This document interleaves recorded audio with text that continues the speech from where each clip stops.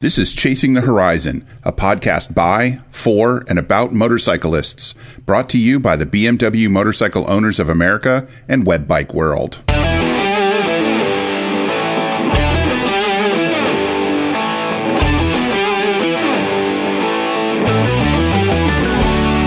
Welcome to episode 127. I'm your host, Wes Fleming, and our guest this time is Shawn McLean, Products and Accessories Manager for BMW Motorrad USA. Welcome to 2022, and here we are, back at it after a little hiatus. We'll kick things off with news about the state of the motorcycle industry. Sales rose in a number of markets in 2021, which is good news for all of us. In the UK and Australia, especially, 21 was a particularly successful year. Motorcycle and scooter sales rose almost 10% in Great Britain to just over 114,000 units. Adventure bikes were the biggest gainers there, with nearly 20% growth over 2020, and they represented almost 20% of total unit sales there. In Australia, however, adventure and other off road bikes represented a whopping 56% of total motorcycle sales. Total motorcycle sales in Australia saw a 7% increase over 2020, with scooter sales rising 8%, despite only representing about 4% of the motorcycle and off highway vehicle segment. Sales of Japanese marques were similarly up, despite ongoing concerns about the availability of uh, the ever important computer chips and increasingly important magnesium, both of which are critical to the production of motorcycles and other motorized vehicles all over the world.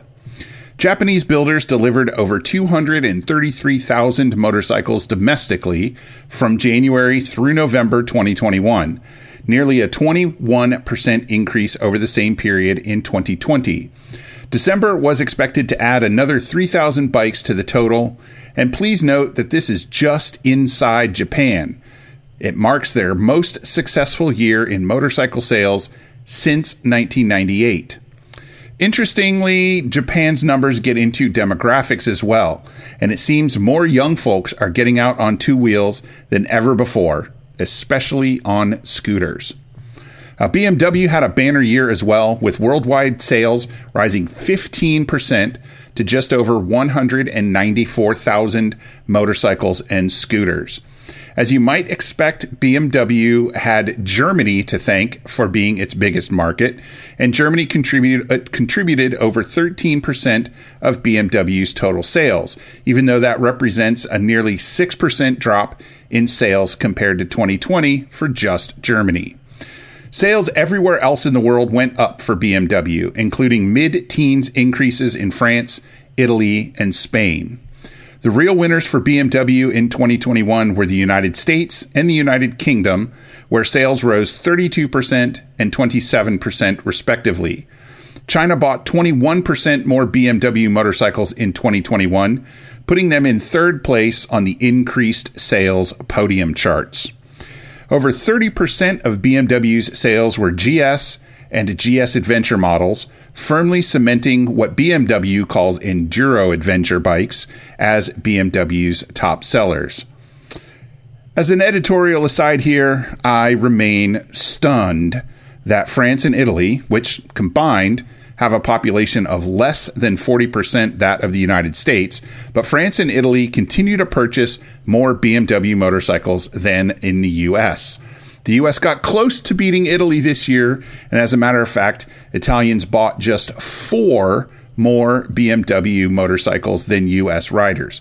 But come on.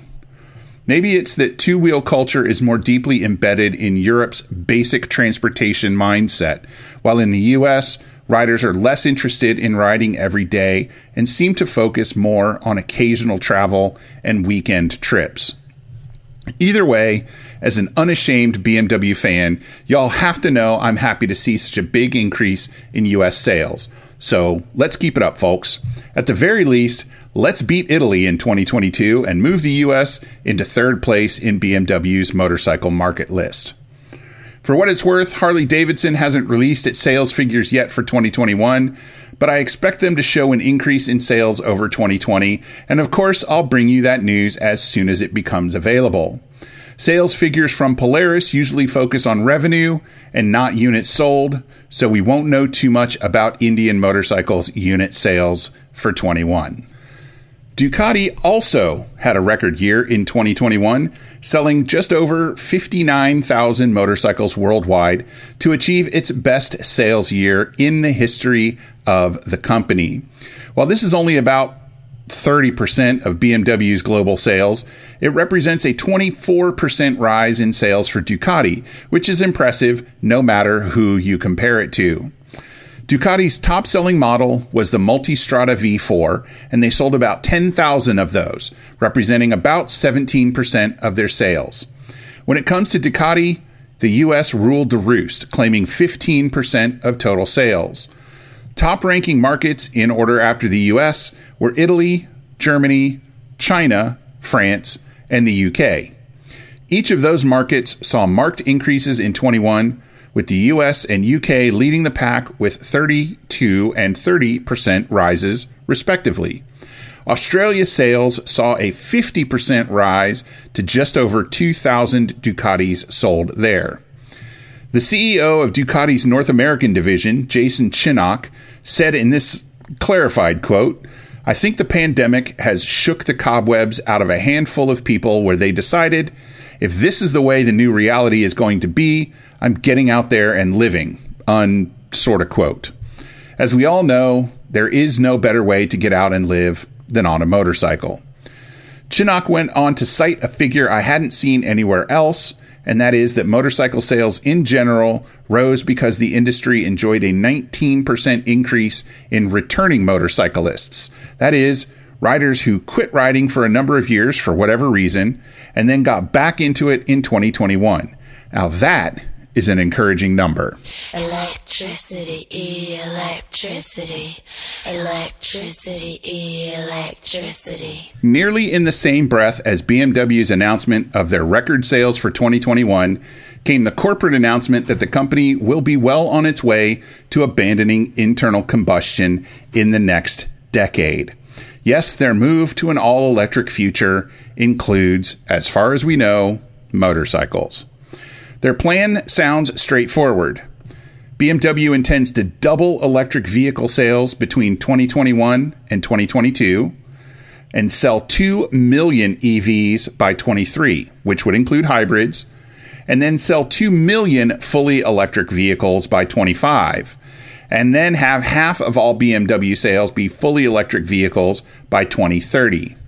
By 2032, BMW expects to have delivered 10 million fully electric vehicles.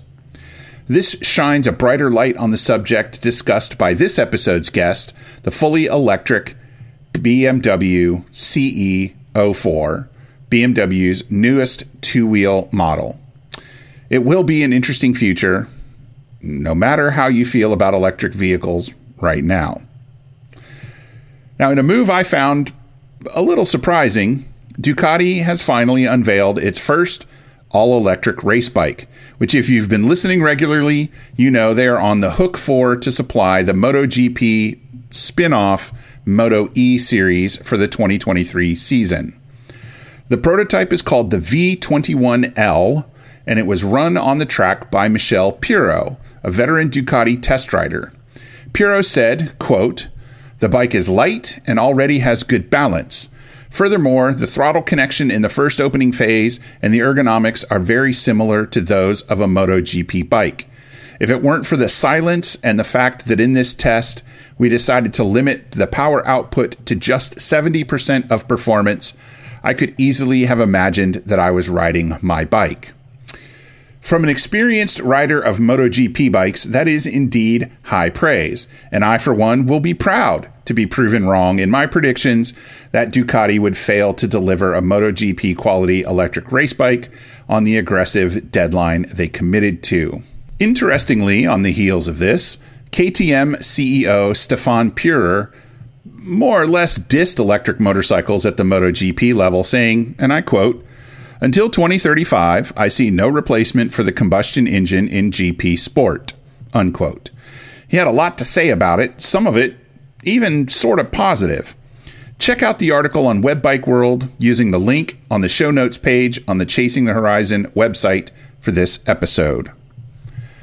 The first ever electric motorcycle featuring carbon fiber wheels has made its debut thanks to a Taiwan based company called Graft. Not the best business name, if you ask me, but its founder, Azizi Tucker, has previously worked at NASA and Tesla, so you know the technology's there, even if the business name is Graft. The EO12 weighs just 110 pounds.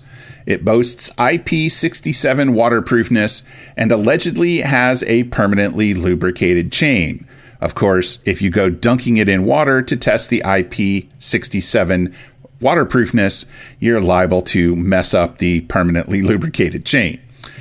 The heart of the dedicated off road bike is its interchangeable battery system, which will be compatible with Graft's other EVs. While no distance estimates were made, the battery pushes peak power at 20 kilowatts, which creates a claimed 323 foot pounds of torque at the rear wheel. The bike's lightweight and no doubt its high cost will come from the carbon fiber wheels, a 3D printed titanium drivetrain, and its aircraft grade, CNC machined, super high tech aluminum frame.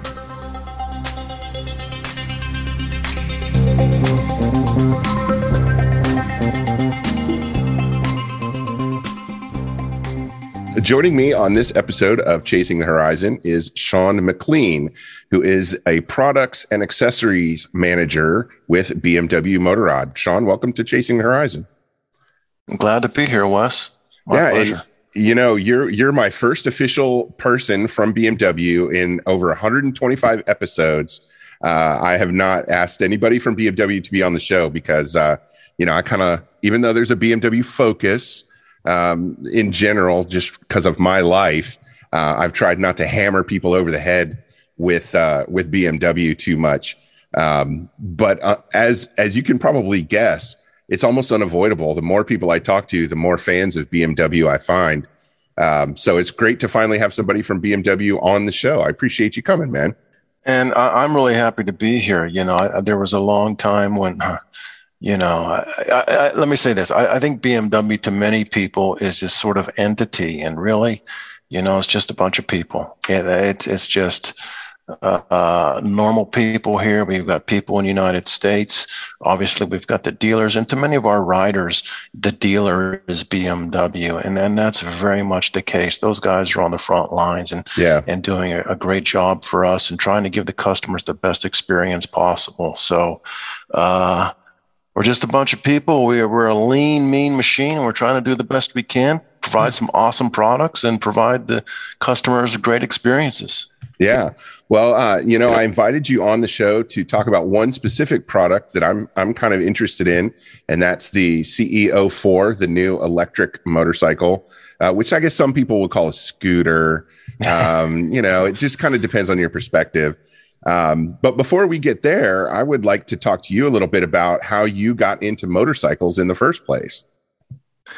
Uh, well, I would say your timing is is quite apropos, and the reason I say that is this Christmas will be my 50th anniversary riding. Wow! Congratulations. Um, when I was uh, well, I'm, I'm, Thank you. I'm, 58 now, and when I was eight years old, uh, after bugging the crap out of my parents for who knows how long, uh, they bought me my first motorized two wheel vehicle. And I say that as opposed to motorcycle because I wouldn't quite call it a motorcycle.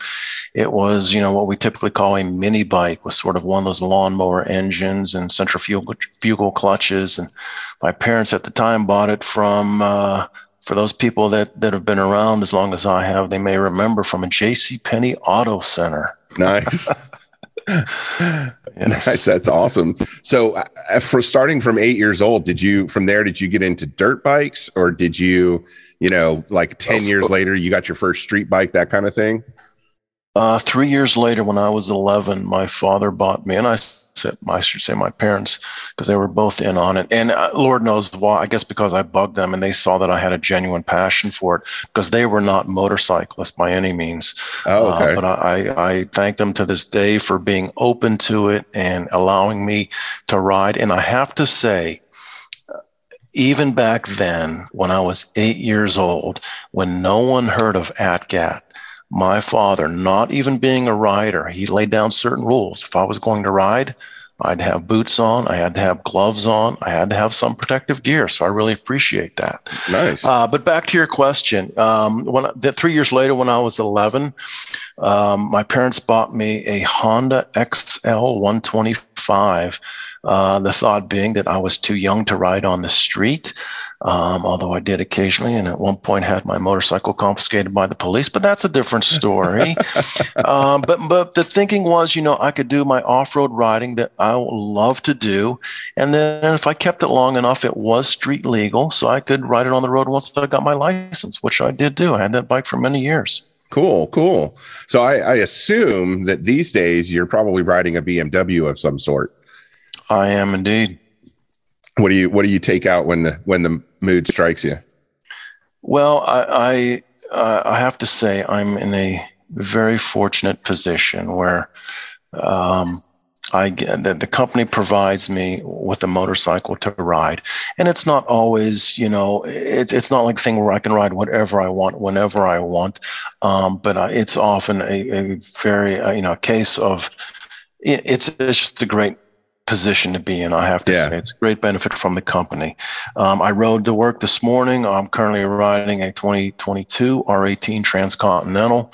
Um, I live in New York State. Uh, BMW's headquarters are in northern New Jersey, so I do ride 12 months out of the year. So this time of year, I like to get something with uh, good weather protection, a heated seat, and heated grips. Yeah, that's got to be nice. Yeah, so it's a perfect bi- bike right now. Um, I have a number of personal bikes that I own, most of which are vintage bikes. And I love all the new bikes. I love when it rains and I'm pulling out of the parking lot in the evening and I just hit the button that says rain. Yeah. And I love that. But I also love to go home and play with carburetors and ignition timing and things like that. Uh, that uh, that says to me that you probably have some airheads in that garage. Yes, I do indeed. a number of them. Yes. Yeah, because uh, you know the the the the other side of the uh, of the aisle when it comes to BMW motorcycles is the K bikes, which uh, from the very beginning have all had uh, fuel injection. So if you're tinkering with carburetors, you're you're not on a K bike. you're right about that. well, that's really cool. Um, tell me a little bit about um, your impressions of the Transcontinental. Um, I've ridden the I've ridden three of the four versions. I've ridden the first edition, you know, kind of the base model. Uh, I rode a classic and I rode a bagger, but I haven't yet had a chance to ride a Transcon. So I'm curious, how, what uh, what are your impressions of that bike? Well, I would say, well, I mean, with with your experience, not only riding various R18s, but also with your history of riding BMWs, you probably went through a similar thing that I did. When I first rode an R18, it, you have to put everything you know about BMW aside. It is not the typical BMW. You don't ride it like a typical BMW. Yeah. But when I recalibrated my sort of way of riding, it it just then it started to make sense to me, and uh, it's the transcontinental. It's I love the fact that it's got that big fairing on, particularly this time of year when the yeah. weather you know turns a bit cooler. Um, I enjoy listening to satellite radio. It is it the motor is so long legged um, and you can just you know you can cruise at this thing at 80 miles an hour if you want, and you're not even touching 3,000 RPMs. It's yeah. wonderful. And and for those of you that, that are familiar with, well, I would say with boxers in general, doesn't have to be an airhead. Any boxer uh, can be incredibly smooth, or if just the slightest thing is not quite right, it can be uh, quite, quite a bit of an animal to handle. And I have to say, this massive 1800 cc motor is so glass smooth when you get that thing up and cruising it, it's a wonderful thing now having said all that the bike is big It's heavy, yeah. it's big, but boy, you get that thing moving down the highway and it is awesome. Yeah, you're absolutely right about the kind of recalibrating your your mind to it. Um, I, well, the thing that that I that I kind of that really made me pay attention to that recalibration was the the wheelbase. Um, because I typically ride uh, an R1200 GS, a, a water cooled R1200 GS, which has a, a shorter wheelbase than the R18.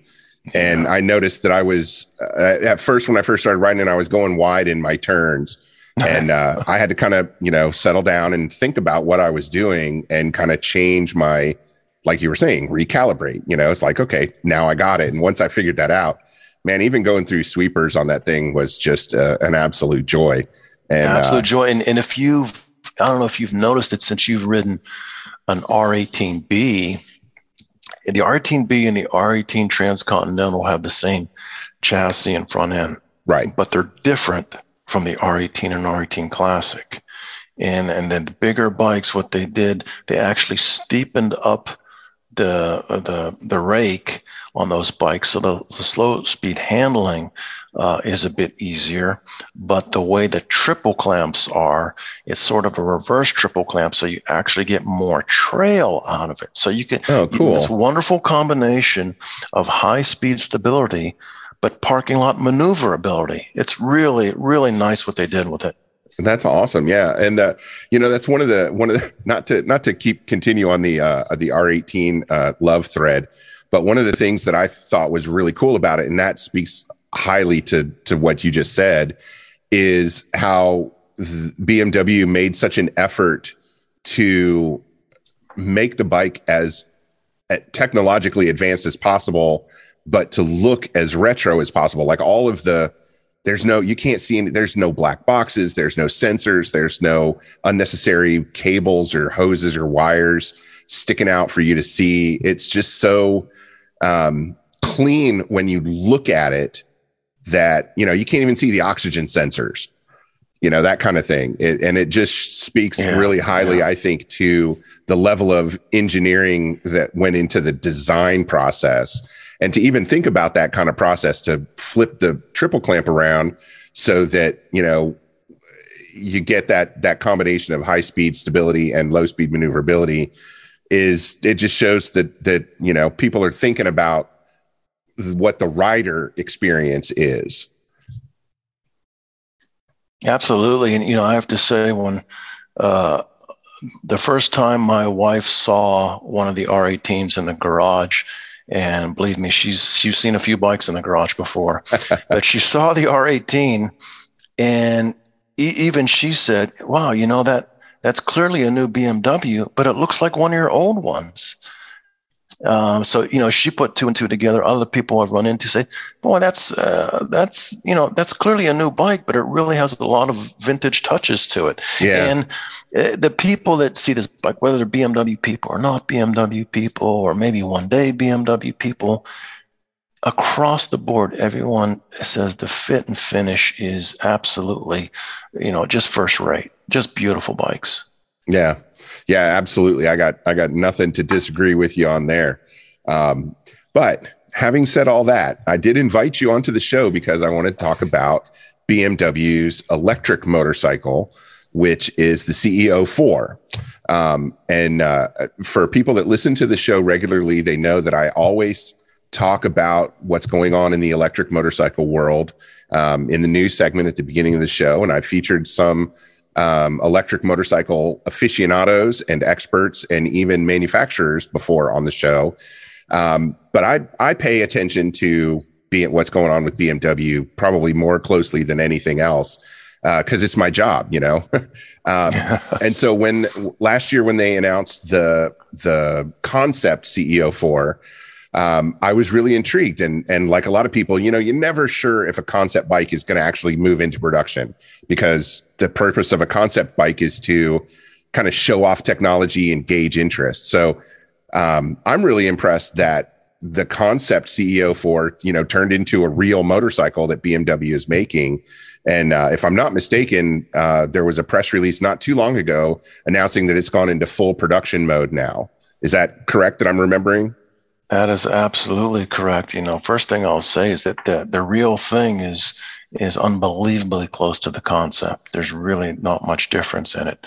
Uh, we're, we're having the, the and uh, let me back up once one step here. Sure. And um, the name and, and, and BMW is very particular about this, and I understand why.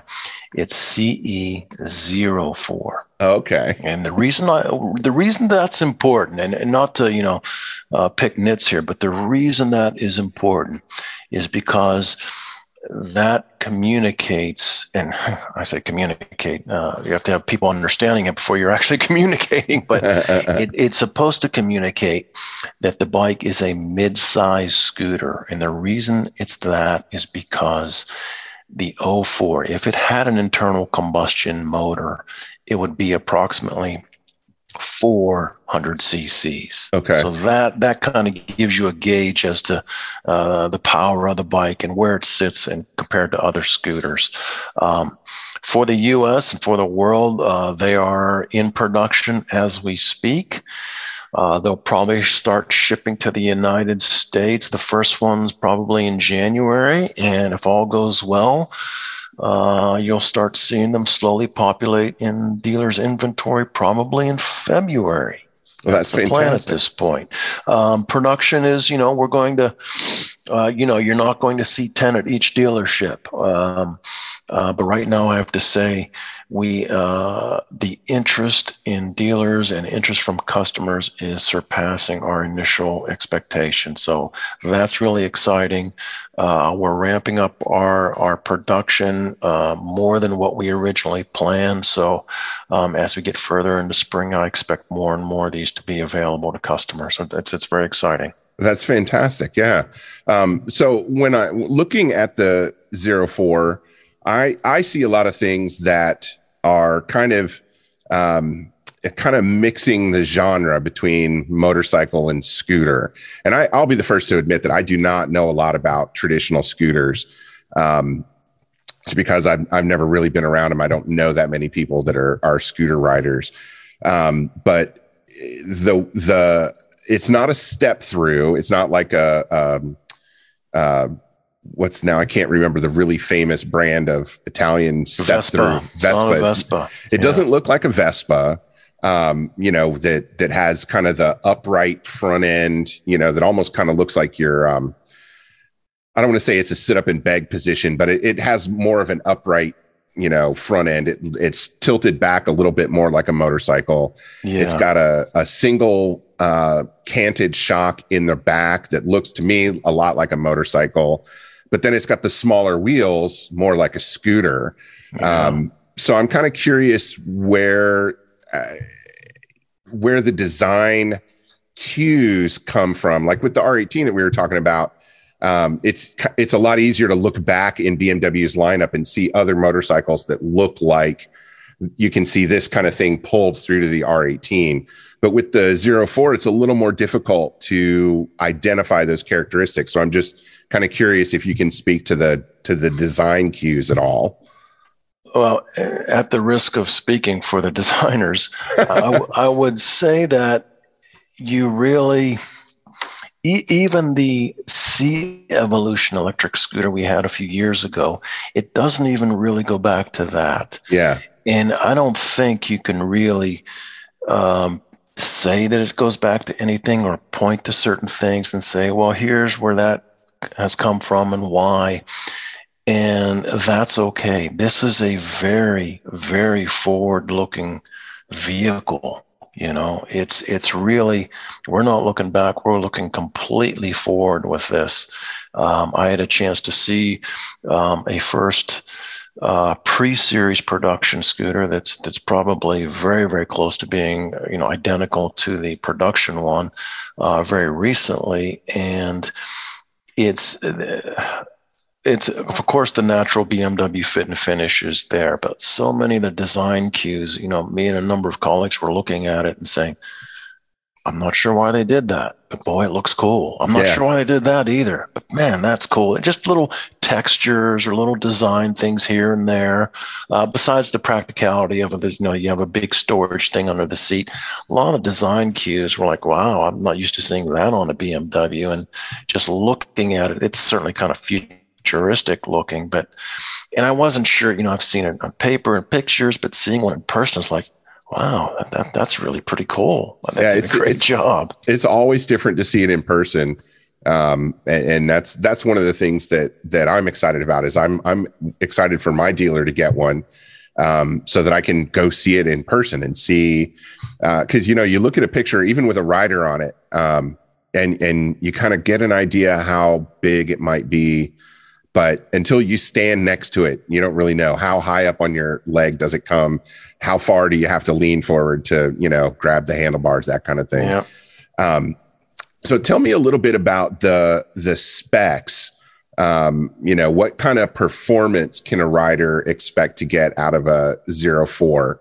Um, you know, I've I've only test ridden a few electric motorcycles, so I don't know a lot about electric motorcycles. So uh, that's another reason why I wanted to have somebody on the show to talk about an electric motorcycle that's you know in production um, to get some of that real world knowledge um, out of them. So what kind of performance if i go sit on if i go ride one what can i what can i expect Well, I think with anything, you know, any sort of electric vehicle, the first thing people talk about as far as performance is the torque. right Um, it's it's it'll have 46 pound feet of torque, 42 horsepower, 75 mile an hour top speed, and it'll get an average of 80 miles range. okay that's all pretty good and yeah what a lot of people i think forget about electric bikes is when they say you know it has x equivalent of torque it has that from the very beginning you don't have to ramp up to it you know it's because basically it's- at, at RPM one. Yeah. it's there. so that was the the thing that always I always have to once again recalibrate. You know, when you take off on an electric motorcycle, you have to be paying attention immediately to your throttle hand. yeah, and I, I've- seen some specs, and I can't. They're not at the top of my head right now, but but oftentimes, and I saw this back when we had the C Evolution, that uh, acceler acceleration wise, um, for the first, and I forget what the spec is. Forgive me, but uh, the first, I don't know, like 50 feet or something like that. It has more acceleration than an S1000 double R, something crazy like that. I Yeah, mean, that- that's really amazing. that is that is a little crazy. Um, so the um, uh, let's talk about the the range a little bit because um, I think this is another thing that a lot of people who don't ride electric motorcycles can get a little confused about. So just like with um, with uh, like with a car that has city mileage and highway mileage, they're going to be a little bit different. When we talk about an electric motorcycle, we talk about you know kind of highway range and and mixed use range where you're and not necessarily stop and go, but you're not going 65 miles an hour until you're out of battery. Um, right. so and obviously the the harder you ride it um speed wise the lower that range is going to creep um so do you do you have any insights into how BMW has tried to balance range with utility i mean the the 04 is not meant to be a touring bike like the R18 Transcontinental it's meant to be kind of a more urban use um you know Exactly. Yeah. commuter almost commuter style Very, very much so. Um, and it's it, it, it the the CE04 has a number of things to sort of aid the rider in getting the maximum amount of range. Um, like most electric vehicles, um, it has recuperative, as BMW calls it, or regenerative power. So Okay. oftentimes, you know, when you're rolling off the throttle, you may not even need to use the brakes because it's using the regenerative power uh, to slow down the motor and recharge the battery. Uh, there's always, uh, you can call up on the 10 and a quarter inch TFT screen a, a, a sort of a balance meter that helps also, you know, how much power are you regenerating? How much power are you using? Uh, the bike has three modes as standard, one of which is eco. So you're going to get a little softer acceleration and a good amount of regenerative power. Um, you also have rain and, and you also um, have the full mode where you've got all the acceleration and all of the regenerative power, the, the dynamic mode. So it's always working to regenerate as much power as possible. And you, you made an, uh, an incredibly important point, Wes, where you mentioned that you know it, it's it's not a touring scooter, and it's not. It's this is what BMW puts in its urban mobility uh, segment, mm-hmm. and you know there. I think about how the world has changed in the last let's call it 24 months and I don't work at the office five days a week anymore. I work at the office eh, on average. I'm, I'm here three days a week now. So there's a couple days a week where I don't have to come down the New York State Thruway at 80 miles an hour on a 36 mile one way trip. But I still have to run all my errands around town where I live and do things like that. So now a vehicle like this starts to become um, a viable option for me. It may not replace something in my garage, but it can be very complementary to what I have in the garage. Yeah. And um, I was recently at the Long, well, we call it the Long Beach IMS show. It was actually in Costa Mesa this year. And I noticed there were a number of e bike vendors there. And we've all seen the people on the e bikes. Um, and I've seen from various ages, whether it's a 10 year old kid or a 50 year old gentleman riding an e bike. And I'm thinking, all these young people riding e bikes, what's the next thing for them? Yeah. You know, it's they're probably going to want something with a little more power, a little more range, uh, charging is second nature to them. It's just like charging in their e-bike, charging in their phone. It, it's it's all the same. So this is just to me, wow, this could really be the next thing for a lot of people. It, it's to me, it's uh, you know, without trying to sound like I'm just waving the BMW flag, I really think this could be sort of the right product at the right time now. And there will be, uh, you know, th- this is this is the second one for us. We had the C Evolution. Now right. we have the C04. There'll be more products down the line. There'll be more products in other segments but it will take time and BMW will do it in, in, the way that we feel makes sense. It's just about making sense. Right now, it doesn't make sense to make a touring electric motorcycle because the range isn't there or the amount of batteries you would need right. and makes the vehicle too heavy. Right now, internal combustion engines continue to be very powerful, very efficient, cleaner and cleaner each year. So the internal combustion engine still has a lot of life left in it. Yeah, absolutely. And you know, one of the things that, uh, as a matter of fact, in the news this morning, um, I saw an article on uh, from Reuters um, that BMW had sold its one millionth EV electric vehicle, yes. and uh, BMW as a company makes a mix of all electric and uh, hybrid electric vehicles, and they've sold a million of them, uh, which is a, a pretty impressive um, landmark milestone. Milestone.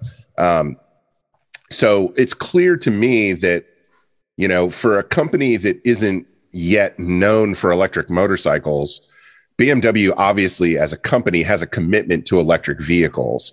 Um, and I'm curious about how that kind of comes through to you guys in on the motorcycle side, um, where you know because, and obviously you can't tell me what's going on behind the curtain, but uh, I'm interested to learn a little bit about the excitement for electric motorcycles from BMW in general when you know so much of their business is cars. Um, you know, it, it's easy to overlook the motorcycles because so much of their business is cars. Of course, people like you and me, we're very much into the motorcycles, and we're like, they they sell cars, right? Yeah. I heard. um, you know, uh, so I'm kind of curious what it, what it's like on the you know kind of the culture of electric vehicles um, in in BMW's office.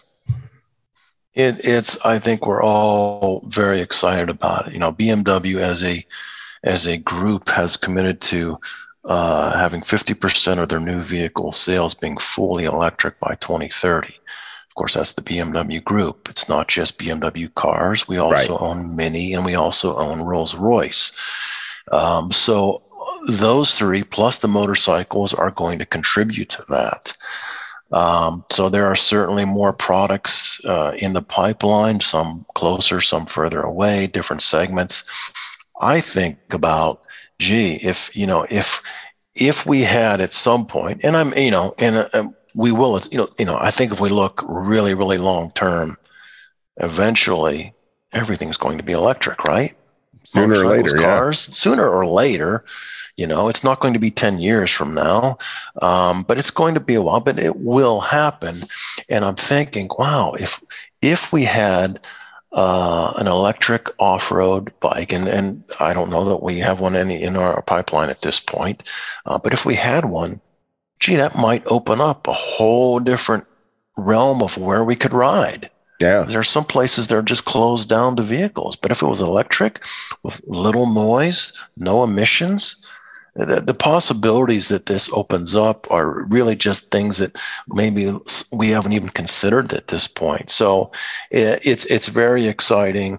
Um, uh, people, when I see the people that both motorcycle people and non-motorcycle people that are interested in the CE04, uh, and just you know, a couple years ago, it wasn't that common to see electric cars, whether it was a BMW or a Tesla going down the road. And now I see them all the time. You know, yeah. I, I, I bought a new car uh, almost a year ago to the day now. And even when I bought the car last year, I was thinking, you know what, this is probably the last uh, gasoline powered car I'll ever buy. So it's just a matter of time. And, and BMW, I think, is approaching it in a very sensible way. Yeah, I know the uh, the one that I see the most often is the i8. I think it's called. yeah, it's um, a very cool looking car. Yeah, it's very cool looking, and I see there's there's two or three people um, in in my I don't say my neighborhood, but in my city that I see kind of on a regular basis. Um, but the ones that I get excited about are the are the ones that look like full size cars to me. Um, the i8's kind of really compact, um, right. and that's that's kind of you know we're talking about range and and uh, one of the things that I, I say quite often is, you know, when, when they come up with an electric motorcycle that gets 400 miles on one charge, I'm in. But I'm not even sure how realistic that is because I can't go 400 miles on my gas powered motorcycle without refueling. right, um, right. And, and, you know, f- to me, 400 miles is a pretty solid day and the charging technology seems to be improving with every new generation of EVs, where it used to be, you know, to get to 80% power, it was four hours. And now to get to 80% power, it's two hours. So how much longer is it going to be before 80% power? You get 80% power in 90 minutes or 75 minutes. And or it, with the CE04, you can go to 20% to 80% power on 220 volts, which everyone has in their house you yeah. can 45 minutes. 45 while, minutes, really. While you're while you're having lunch, you can yeah. you can charge it up to 80%. Yeah, yeah, and now will it will the 04 also charge on a regular like 110 wall outlet? It just Absolutely, obviously would it will. take longer. Obviously it takes a little longer, but yep, you can plug it into your your outlet, your you know, your 110 outlet at home as well. Yep. Cool. Uh, does it you, you, brought you brought up an interesting thing when you, you mentioned Wes about the infrastructure. Yeah. And um, I'm certainly bullish and excited about electric vehicles, but you know, there it, it's it's not just the manufacturers, whether it's a car or motorcycle or whatever. Um, it's going to take everybody contributing. And what I mean by that is, yes, we need the infrastructure for charging. We also need and a couple of things play into this. We also need consumer demand. Yeah. You know, and they're thinking, well, I, I need a certain amount of range. I need to be able to charge it, you know, or at least not have the anxiety of trying to find a charging place. And the other thing that plays into this, you know, it started off early and it, it's still a contributing factor is the states and the federal government. A lot of the, you know, whether it's a tax credit or subsidies, that's really for a lot of people at this point sort of a turning point where it's like okay now this is starting to make a lot of financial sense when yeah. you think about you know okay i don't have to change oil in, in, my motorcycle anymore. You know maybe i'm just doing tires and brakes you know things like that. It's like wow okay. No more valve adjustments. Okay. This is starting to make a lot of sense to me now. You're starting to sound like a crazy man there Shawn. No, no. Well I don't, I don't i don't know how i would uh, adapt to a motorcycle that needs no maintenance you know? Yeah. brake pads and tires and and you know make sure that there's no rocks in the drive belt and and yeah. go. Um go. i'm i'm so used to to working on my own bikes that uh yeah i don't even know how to process that to tell you the truth that makes you know that's another thing that contributes to a lot of people saying okay all that. I mean, just uh, you know, you don't have to go to your dealership and you know schedule a, a two or a four hour service. It's it's just wow. And really it really changes your dynamic of how you live with the vehicles that you have. Yeah. Yeah, one of the another thing I'm kind of interested in, and uh, you might not actually be the right person to ask this question to, but you also might know something about it. Um, so obviously, anytime a new model comes out, the technical staff, you know, the mechanics and the technicians that are at the dealerships have to have to get trained up on it. But when it's something that resembles what they're used to working on, it's it's details and differences rather than, you know, new systems. Yeah. With something like the Zero Four, you've got a completely new platform, you've got a completely new concept, and you know, tires are tires and brake pads are brake pads, but what kind of um, commitment does BMW need from its dealers to get those techs trained up on a completely new piece of technology? What's that process look like? Well, for something like a, a new technology, you know, in this case, you know, electrified vehicles, there there's a there's more of a commitment than usual because like any new vehicle, you may have new special tools, you may right. have new training, things like that. But now, when, when you're dealing with electricity and, and high voltage electricity, well, you know, let's be very clear and let's be very honest here. Someone can get hurt if they don't know what they're doing.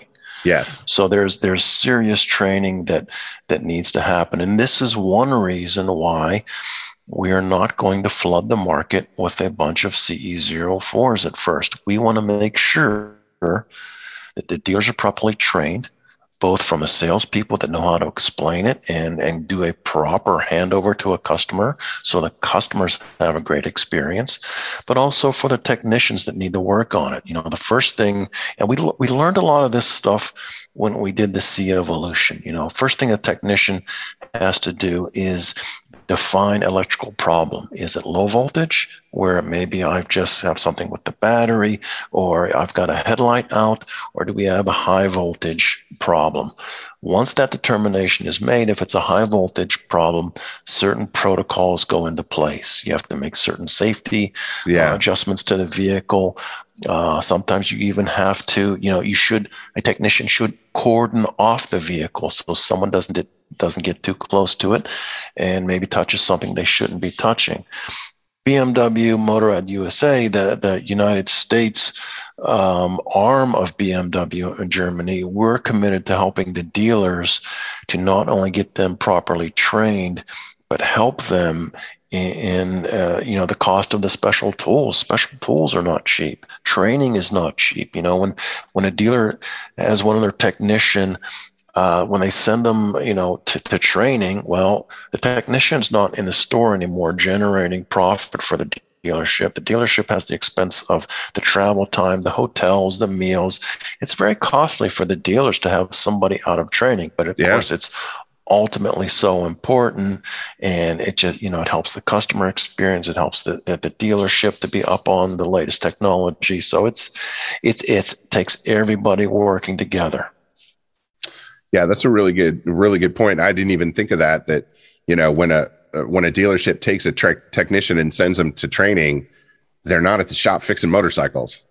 Yeah, you know, I, I kind of spaced on that. Uh, to be perfectly honest, I didn't think of that. That's got to be a real burden on the dealers. And you know, I, I there was a time when, when I worked at a dealership, so I have a lot of I have a soft spot in my heart for dealerships.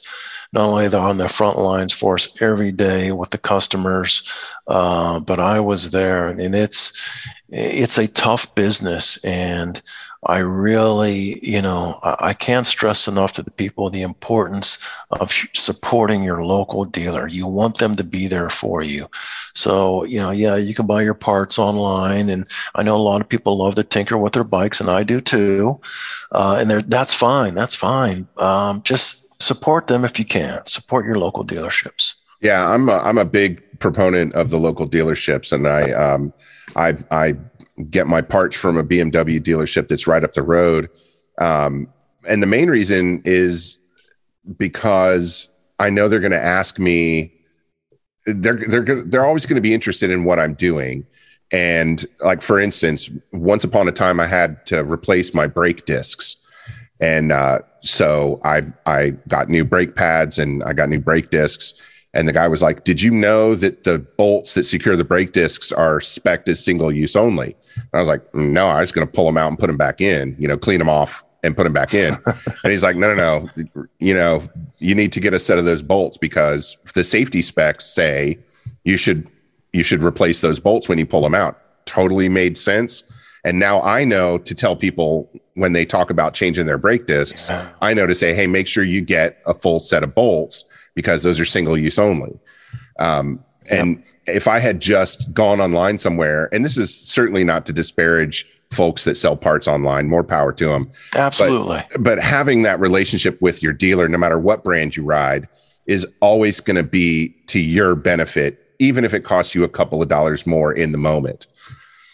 You mentioned the the optimal word there, relationship. Having that relationship with those people at the dealership that that's the key thing you know? Yeah. You're there to support them and they in turn support you and giving you the knowledge like that.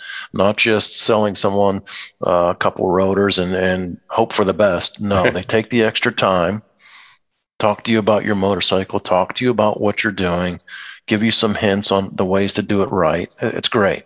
Yeah. I love it yeah and you know i'm curious about something else it's it's a little bit off topic from the zero four but I'm kind of curious how you came into the BMW orbit. You said you used to work at a dealership, um, and obviously you've been into motorcycles f- from a very young age. So I'm sure as you were growing up, you thought, "Hey, I could I could work in motorcycles." But uh, how did all that happen? Actually, you know, I I didn't think that I could work in motorcycles when really? I was growing up. I wish I did. It never occurred to me that motorcycles could be a career. Never did. Um, but but how I got into the BMW orbit is that I had I was actually in the music industry, believe it or not. No kidding. In, in, Nashville, Tennessee. And I had moved there out of college, went there to be in the music industry, uh, in, the in the uh, the back end of things as a recording engineer um, but always doing motorcycles. That never left me. I was always involved with motorcycles, riding, tinkering, blah, blah, blah. And well, I found myself after about 10 years of that, um, I found myself getting a little burned out with the music industry. And I found that um, you had very long days, which I don't have a problem with long days, but I would go to the studio about eight in the morning. I'd come home at 10 at night. And then I would work oftentimes in the kitchen of my townhouse rebuilding a motorcycle from 10 p.m. till 2 a.m. And I figure I better get some sleep because I got to yeah. be back to studio at 8. So this went round and round for a few years. And I said, you know what? I, I think I really want to pursue this motorcycle thing. And I, I, I have to say it was maybe the most empowering thing I've ever done in my life, where I, I actually set myself a goal, which was, believe it or not, I wanted to be a I didn't know what to call it back then. I didn't know if it what the name was for it, but I wanted to be the liaison between BMW because I was riding BMWs by that time and the dealerships. and I and maybe this can work. It worked for me. Maybe it can work for other people. Maybe it can help them some way. But I knew where I wanted to go. I just had to plot a path of how to get there. Right. So I sort of worked my way backwards. If I want to get the BMW, maybe I can get there from a dealership. Maybe I don't know. I don't know how else to get there. Maybe I could do that. Well, how do I get to a dealership? Well, I seem to enjoy and have a bit of an aptitude for working on motorcycles. So maybe I could be a technician. Okay, how do I be a technician? Well, uh, there's technician schools. Okay, so I need to go to technician school. So I quit my job. I locked up my house and went to technician school for six or eight months in Florida. And that's what I did. And when I graduated, I sold my house and moved to North Carolina, where I went to work for. Uh, then it was Carl and Janice von, Schum- von on Schumer. Um, wonderful, wonderful people. Um, if they're out there listening, God, I love you guys. They're wonderful people. They hired me at the BMW Motorcycles of Charlotte, now owned oh, by cool. Gail and Mark Engel. Yeah. Um, also wonderful people. Um, I was a technician there for a couple of years. Mark was kind enough to give me the opportunity to become service manager there, which really then kind of changed things for me because then I had a position that was more customer facing. Right. And boy, you learn how to you learn how to deal with customers at that point, and and you deal with everything, the good and the bad. You have some wonderful, you know, dear, dear people, and you have other more challenging situations, and you learn how to deal with those in, in a positive way. And once I was doing that, you know, then I actually got in contact with my liaison at BMW, and yeah. I had I had told that gentleman I said, you know, if if anything ever opens up at BMW, uh, doing your position, uh, you know, I'd be very interested in that. And you know, he stuck that in the back of his head, and darned if a year or two later he came back to me and said, Shawn, you know, there's a position opening up. I can't guarantee you anything, but you're welcome to apply for it. Yeah. And, I did apply for it, and lo and behold, I got the job at BMW. So I became that liaison that I wanted to do. That's and, awesome. And uh, I worked in a um, they moved me to Ohio at that time, which was sort of my base, and I covered a certain area. It was the Mid Atlantic. It was part of your region, Wes, because yep. I used to call on Morton's, and that's where I first met George Mangiacaro, and so I'm sort of have have some some ties to your stomping ground. And after a few years from that, um, I was fortunate enough to get uh, asked to come up to headquarters here in New Jersey to take on.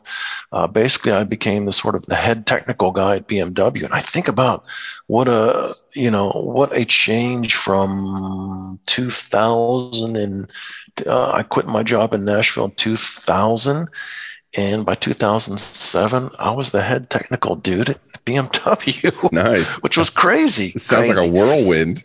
it was a whirlwind. And, you know, I really worked hard. I really, I mean, I just lived and breathed motorcycles, and I still do. I mean, it's it's it's still my one pet. I haven't lost it. That's what I really really love is you know people sometimes say if you, if you take your hobby and turn it into a job you kind of lose the passion for it.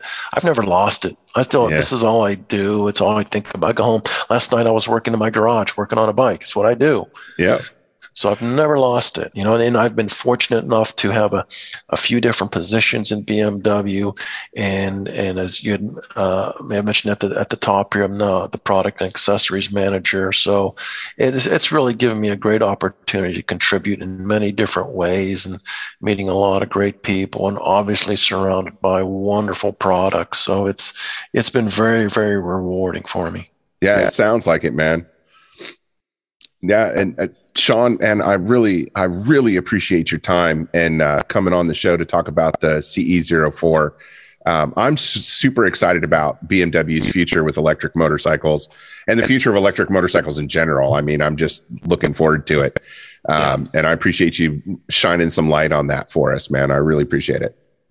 My pleasure, Wes. And then once again, I, I appreciate the, you know you having me. I appreciate your articles in the BMW Owners News and all Thank your you. contributions. It, it's really, you, you know, you're really giving back to the sport, and I appreciate that.